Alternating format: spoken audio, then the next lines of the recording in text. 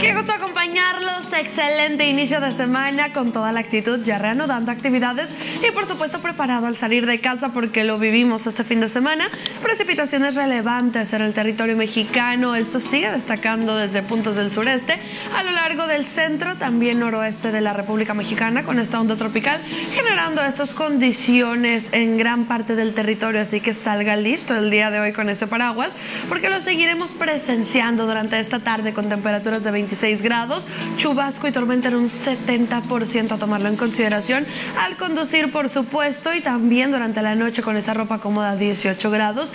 Llega el descenso en la temperatura, también las precipitaciones acaparan gran parte del territorio, aunque son de manera ocasional, se presentan en un 50%, así que además de ese paraguas, es impermeable si tiene actividades al aire libre y hay que mantener la vía pública limpia durante estos siguientes días para evitar y prevenir esas inundaciones y encharcamientos, porque esto se mantiene los días martes, miércoles y jueves desde un 50 hasta un 60% de manera vespertina y nocturna, así como en gran parte del Estado de México, sin excepción. En cuanto a la tormenta eléctrica, tenemos 13,24 grados para Tizapán, así como Naucalpan, Tlalnepantla, Texcoco, 11,24 grados, así que también preparado durante el día de hoy. No baje la guardia temprano porque llegan las precipitaciones también en gran parte del territorio, como lo es en Querétaro, 15,29 grados. Para Morelia, una mínima de 15, máxima de 25 y Cuernavaca, 10 18, valores máximos que alcanzan los 27 grados, agradable pero sí con precipitaciones, como lo es en tierras tapatías, excelente inicio de semana acompañado de precipitaciones en un 60%,